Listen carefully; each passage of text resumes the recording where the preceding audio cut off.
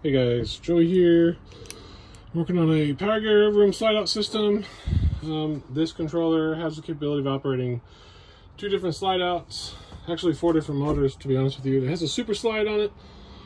So if you hold the button in the bottom for five seconds, it'll put it into programming mode. You want to program the in first before you program the out. And the way you do that is you would hold on this super slide here, because it has two motors, you would hold both these two.